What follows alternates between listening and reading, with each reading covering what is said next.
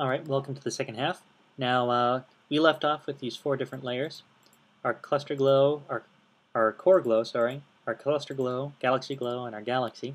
Now what we need to do is add tiny minuscule stars for uh, texture, uh, change the perspective, and on top of that add our color to make it more realistic. So we're going to go ahead and start with the stars. Create a new layer, fill that in with black, make that black, filter noise, add noise, 10%, it's pretty good, Gaussian, okay. Now, adjusting the brightness and contrast, what I'm going to do, like I usually do with my stars, is uh, isolate some of the brighter ones to make it just a little bit more realistic by increasing contrast and playing around with the brightness controls. That's a pretty good one. All right. I'm going to hide all of these layers and then change the blend options to screen. Now, with select, say edit in quick mask mode. What we're going to do is use a small brush. Too big. 30 is good, hardness 0, flow rate's 100, and I'm going to select or brush in the places where I think stars are needed the most. You don't have to be perfect, trust me. It looks better if it's not. All right.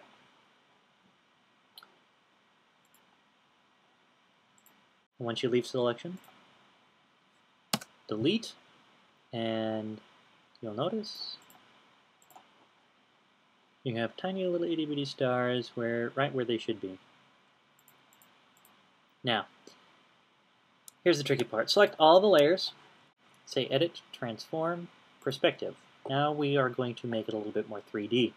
I'm going to take grab this edge and push it towards the center to push the galaxy backwards. I'm going to grab this side so that I can tilt it up a little bit. I'm going to grab the opposite corner here and bring it closer down to round it out just a little bit, like so. I think that's pretty good. Now you notice that uh, we've sort of distorted some of our stars. Not bad. Play with your levels to fix that.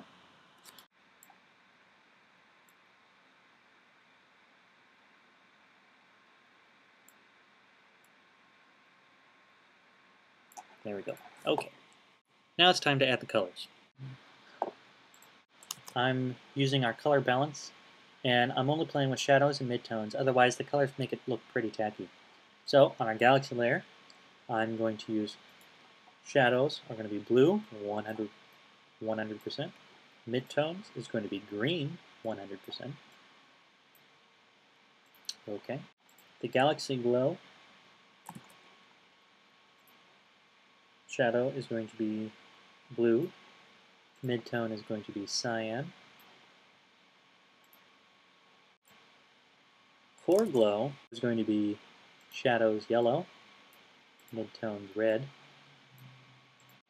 and the cluster glow is going to be something a little bit different. Double click on it to bring in the uh, layer styles, and I'm going to create a inner glow, change this yellow to a nice cyan color. Okay, opacity to 100, and hit OK. Now the final step, really, is uh, to add our little dome here, so go ahead and add a new layer. And using your gradient tool, select the center and drag it out to the edge. Invert it, so you have this white dome. And then change that to linear dodge. Now obviously it's overpowering. But what you do is uh, use your eraser with a relatively small, I'm using 38, hardness 0, change your flow to around 30. Just uh, slowly erase your way towards the center, being careful not to take away too much. Now the end goal here is to create the illusion that there's a dome that's in the center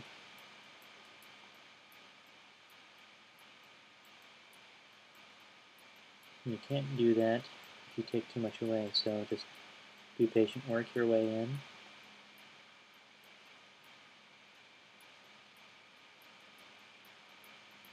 Like so. And then I'm going to change the color balance. I'm going to change the midtones to both red and yellow, both extremes, and in the shadows the same.